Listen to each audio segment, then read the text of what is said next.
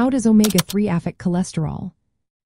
In recent news, health supplements are trending, and omega-3 fatty acids are at the forefront of discussions about heart health. Many people are curious about how these fatty acids can influence cholesterol levels.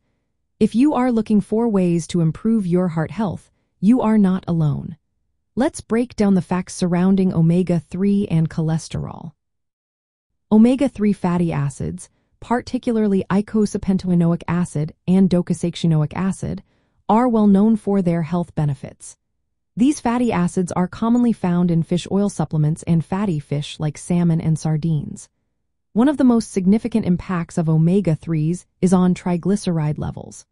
High triglyceride levels are associated with an increased risk of heart disease. Research shows that consuming omega-3s can help lower these levels, reducing the risk of heart-related issues.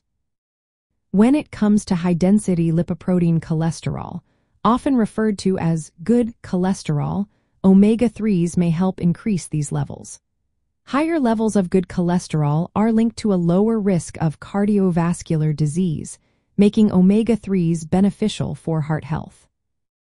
However, the relationship between omega-3s and low-density lipoprotein cholesterol, known as bad cholesterol, is a bit more complex. In some cases, omega-3s may lead to a slight increase in bad cholesterol levels. Fortunately, this increase is usually not significant enough to raise concerns among health professionals.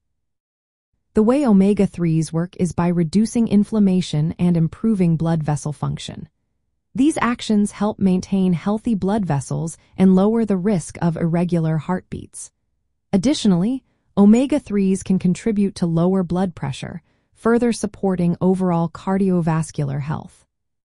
If you are considering omega-3 supplements, it is essential to choose products with a suitable eicosapentaenoic acid to docosahexaenoic acid ratio.